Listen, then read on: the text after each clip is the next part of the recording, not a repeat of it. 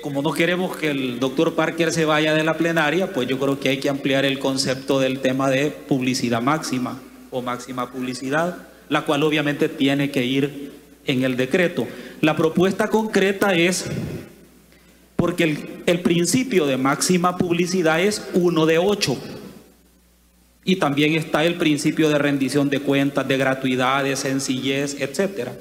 En ese sentido, la propuesta que queremos hacer como grupo parlamentario es que en el inciso en cuestión diga las compras se realizarán bajo los principios establecidos en la ley de acceso a la información pública, que son ocho.